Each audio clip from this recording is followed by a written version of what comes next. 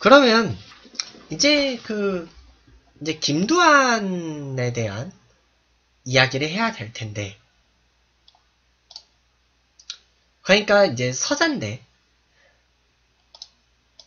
서자인데 큰아들이에요. 자, 역시 김두한의 호는 의송이고요. 김두한도 호가 있어요. 의송이에요. 1918년 5월 15일생 그 1972년 11월 21일에 사망했어요. 50대에 죽어요. 음. 그리고 그 김좌진 장군은 원래 집안이 안동 김씨라서 유학자 출신이었고 그 나중에 대종교로 개종하거든요. 김좌진 장군은. 근데 김두한 전 의원은 이게 아무래도 그 이제 어릴 때 그 만해 스님의 인연도 있고 그리고 나중에 말년에 그 좀 약간 절에 좀 자주 다니고 그래가지고 그 말년엔 불교를 믿었다고 해요. 학력은 서울 교동 보통학교 다니다가 중퇴했어요. 그리고 김두한 전 의원이 1972년에 사망할 때 당시에는 신민당에서 활동을 했어요. 그리고 이제 그 부인으로는요, 이 제이 씨가 있었고, 김부미 씨가 있었고, 그리고 김순옥 씨가 있었고, 박정희 씨가 있었는데요. 김순옥 씨라는 부인의 경우는요, 기불동 씨하고 동갑이에요. 그리고 이제 그 뭐냐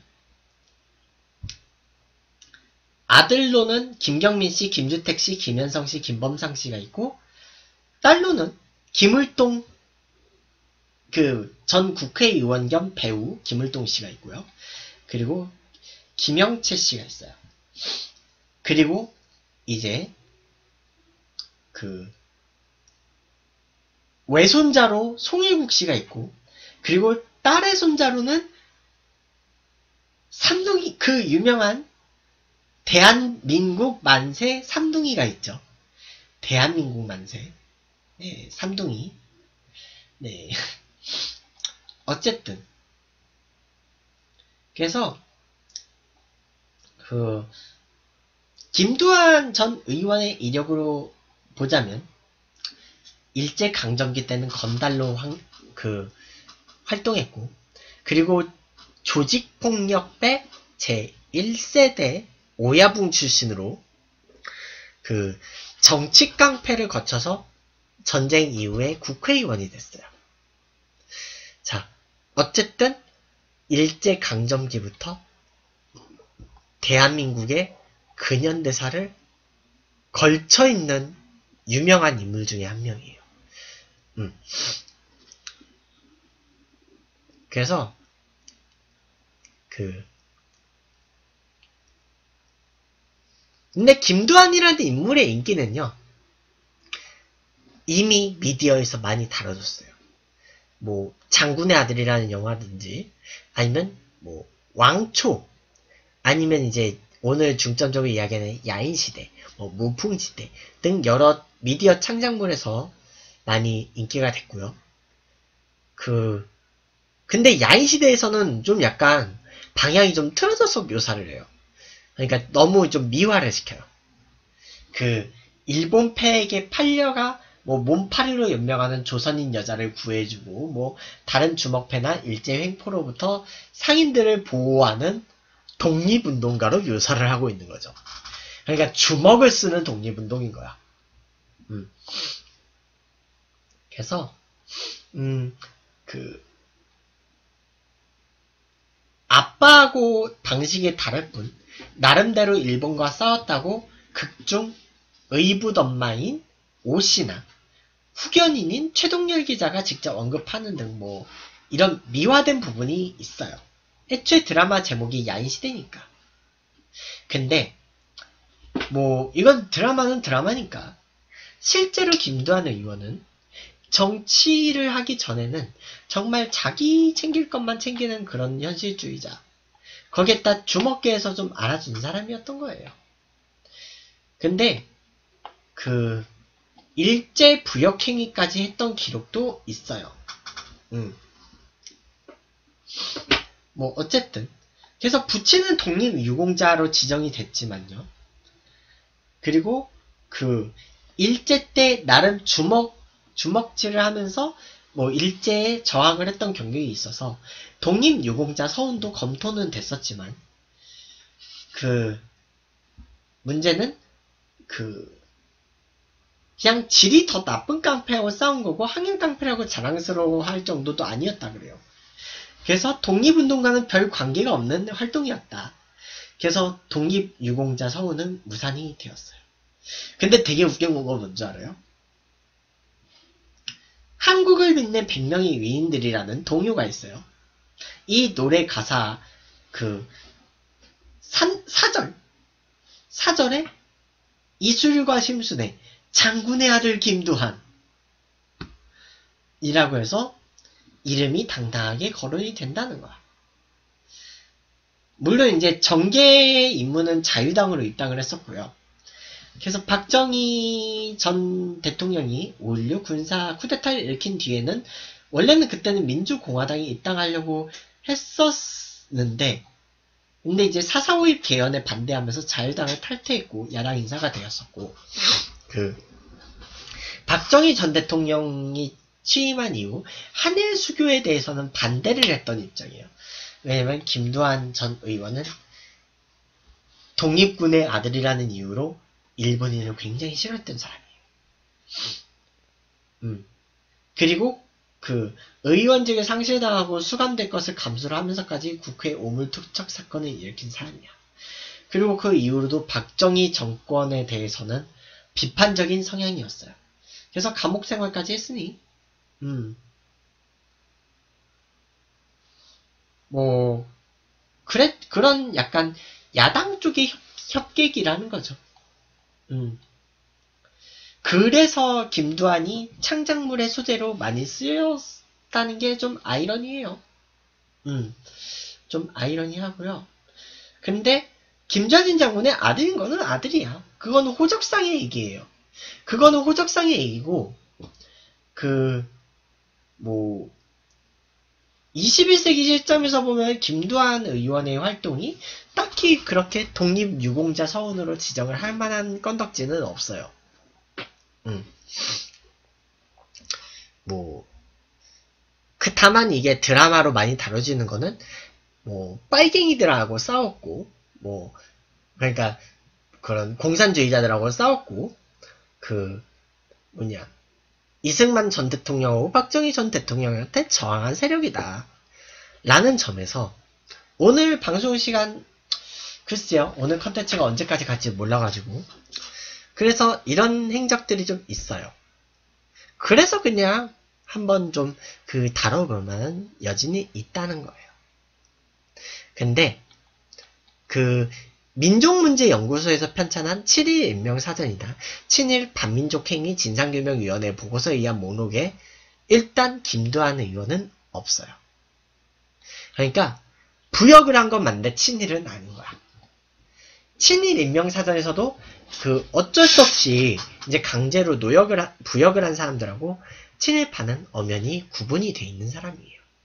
자, 그래서 그 일제 징역이나 아니면 이제 징병을 피해서 부역한 사람들이 이제 제외된 거죠.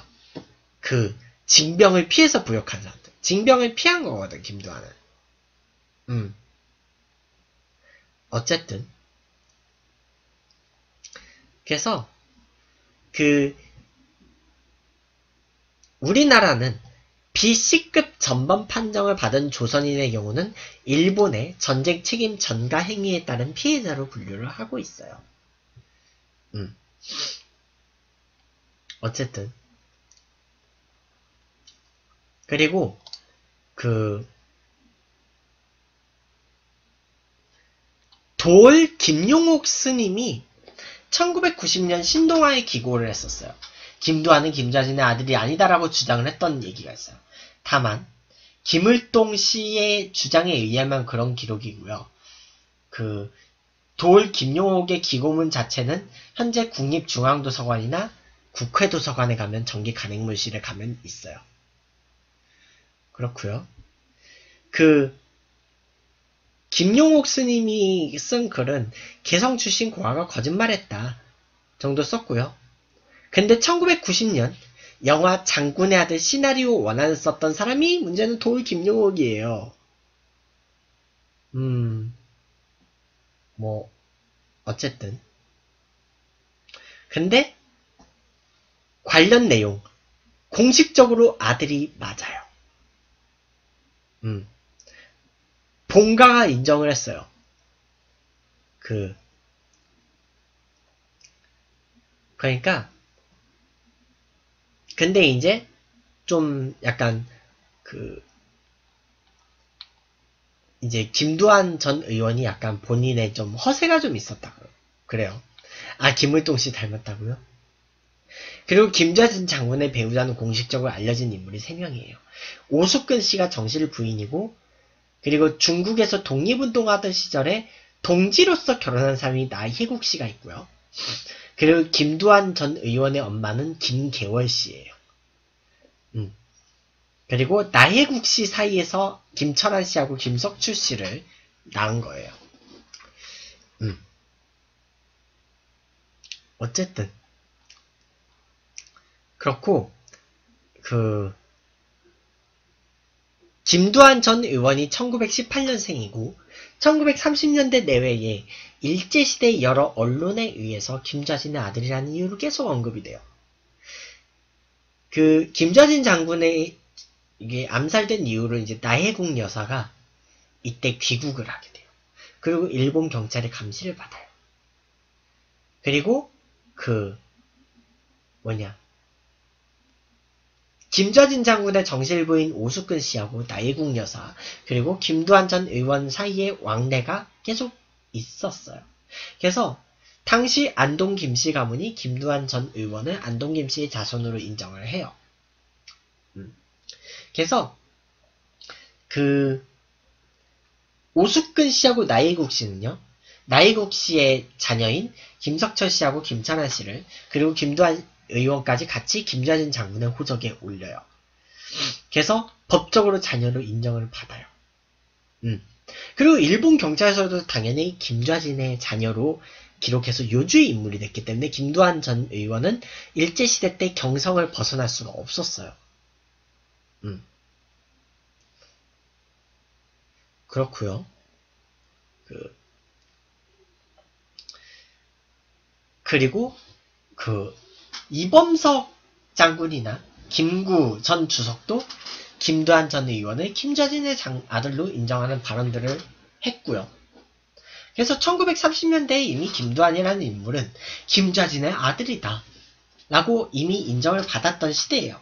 그리고 정식으로 호적까지 올라갔기 때문에 그 아무리 늦, 늦, 늦어도 해방 이후에는 인정이 됐다는 사실이에요. 그렇고요. 그래서 이미 그 오피셜이 된 거야.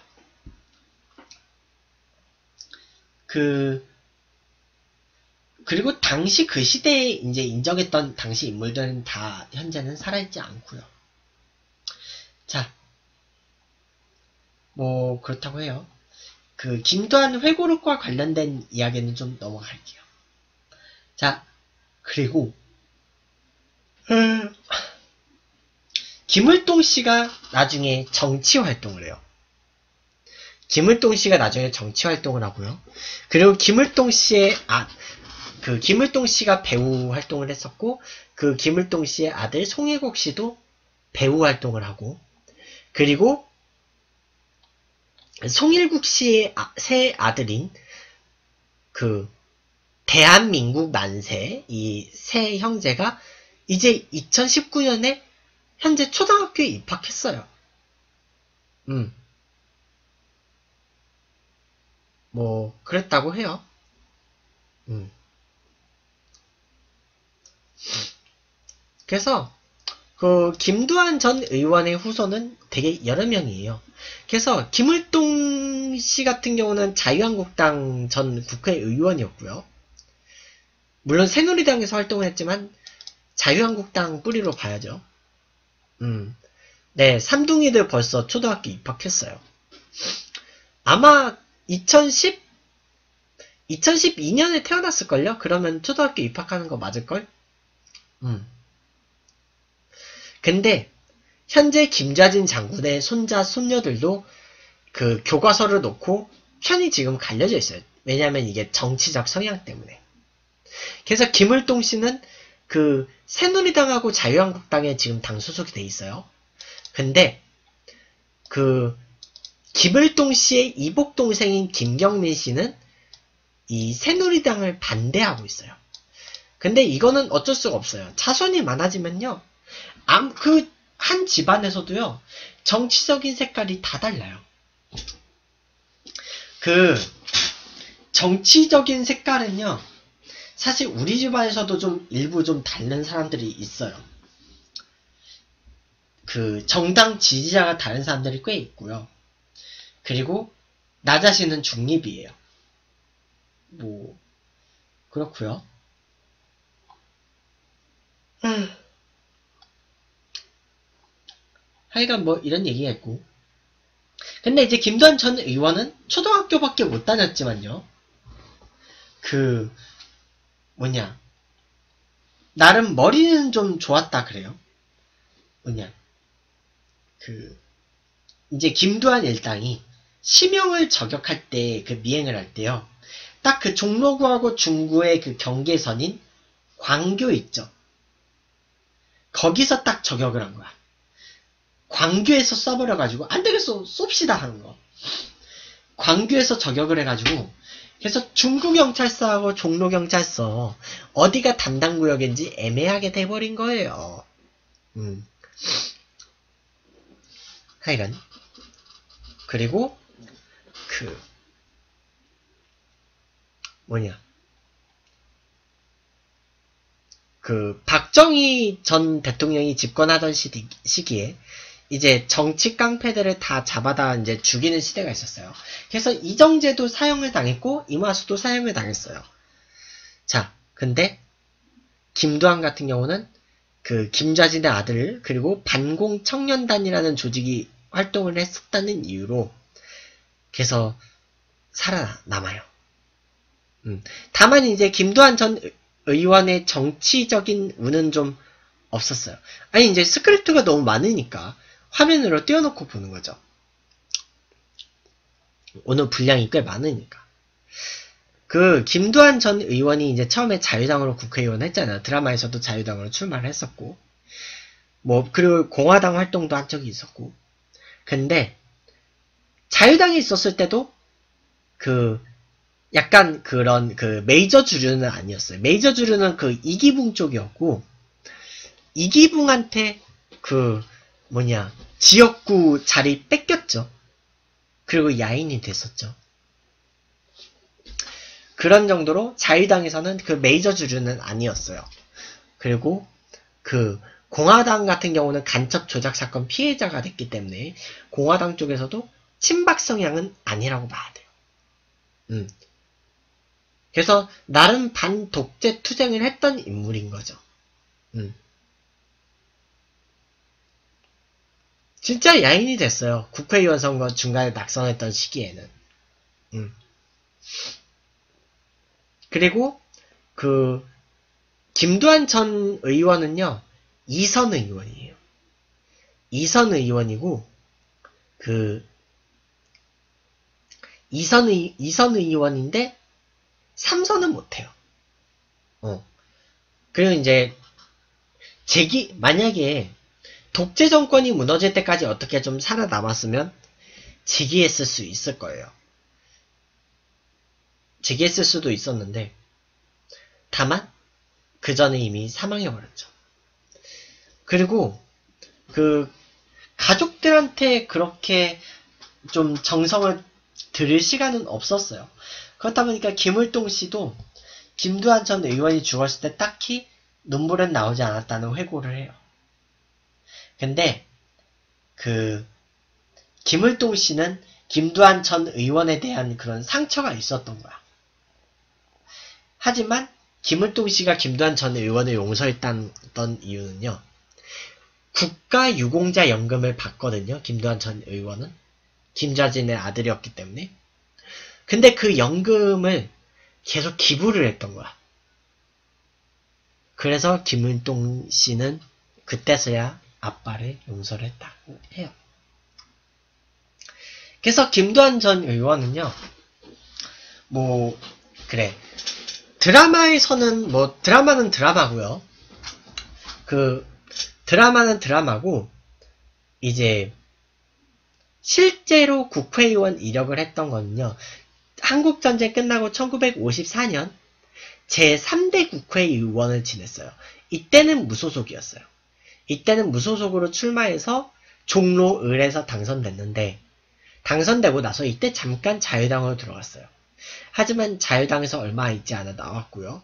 1958년 1958년에 그래서 자유당에서 나온 거예요. 왜냐면 이때 원래는 그 어떤 지역구로 출마를 하려고 했는데 이기붕한테 뺏겼어요. 하여간 뭐 그랬다고 해요.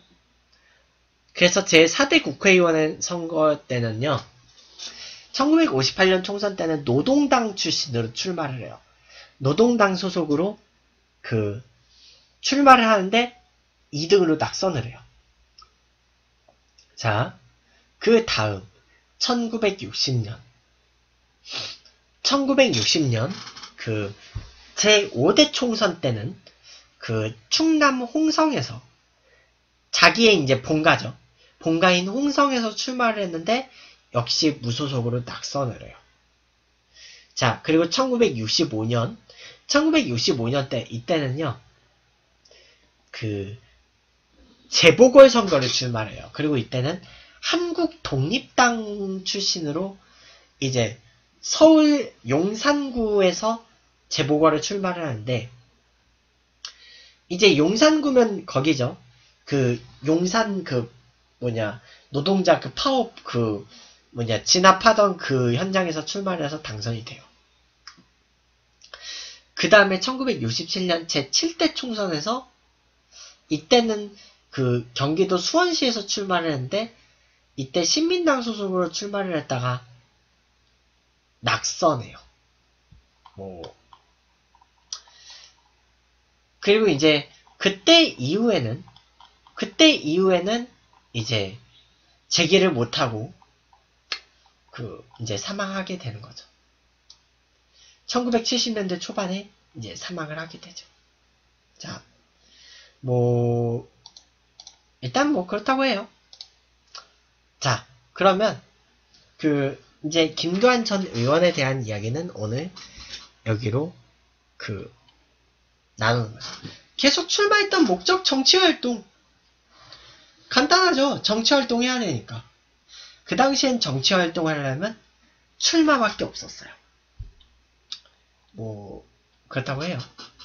자 그러면 저 여기서 다시 보기를 좀 나누고요. 자 그러면 이제 그